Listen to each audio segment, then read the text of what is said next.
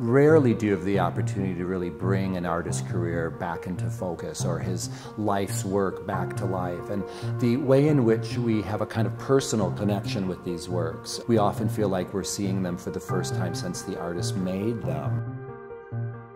Yeah, these have never been unrolled before. This was the roll. These probably haven't been, haven't seen the light of day for 50 years.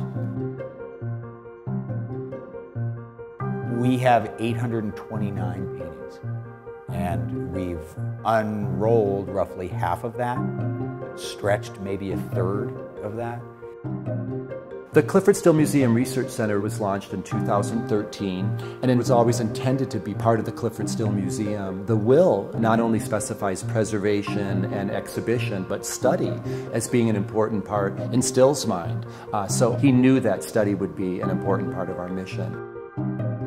The Clyfford Still Museum is beginning to provide guidance and some research via the archives and other relationships with the Getty Conservation Institute, for example, to help understand the materials and the, the intentions of those artists through the archives, and then help build a greater body of knowledge about not just the movement, but also about the materials of that time.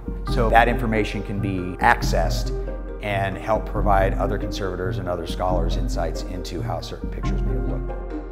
The Clyfford Still Museum has overlap with the Getty Center on a number of instances. The interest in having a symposium on conservation, I think, was something both of us have been trying to do on this period because we both have a fairly strong commitment to the idea of serious scholarship and study, and the opportunity presented itself in this symposium happening this week. It's the biennial symposium in collaboration with the Getty Conservation Institute, and it is about these fundamental questions. It's really putting out there the acknowledgement that these things change and that part of conservation is an interpretive act. And the role that conservation has, not just in the care of the pictures, but the interpretation and long-term understanding of these artworks in general. It's bringing together conservators, conservation scientists, and art historians all coming together to sort of talk about some of these issues that this collection really exemplifies.